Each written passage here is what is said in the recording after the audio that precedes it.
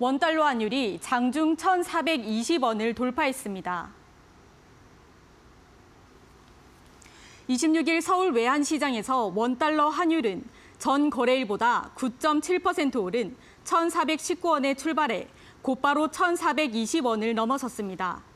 환율이 장중 1,420원을 넘어선 것은 금융위기 당시였던 2009년 이후 약 13년 6개월 만입니다.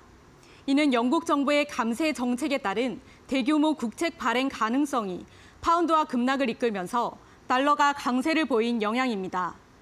영국 정부가 경제 성장 촉진을 이유로 50년 만에 최대 규모의 감세안을 발표하면서 재정 건정성 우려가 커지자 파운드와 가치가 폭락했습니다.